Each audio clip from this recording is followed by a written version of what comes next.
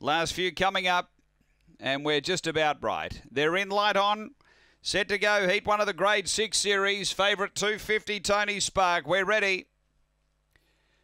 Racing. Missing the start a bit is Aston Clara coming out running wild looking straight to the lead over Tony Spark. Then Boombox Robbie from Ace Victorium and out wide attacks deduction.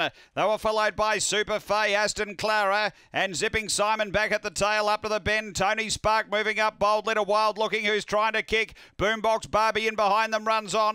Tony Spark moving up to wild looking. Boombox Robbie late. Boombox Robbie over the top went home too well for Tony Spark and third is wild looking and fourth home Aston Clara. Clara. Uh, then came tax deduction from Zipping Simon, Super Fay. It was back toward the tail end. The time here is around 26 seconds. Boombox Robbie getting the prize here uh, for Peter Jovanovic and was able to finish over the top of them. And uh, the time here is 26.02. Number one, Boombox Robbie, Peter Jovanovic for the uh, Rovers Return Syndicate. Second, going the way of number eight, Tony Spark for Tony Rasmussen. And third to two, Wild Looking for Troy Murray. It's 182, 2602.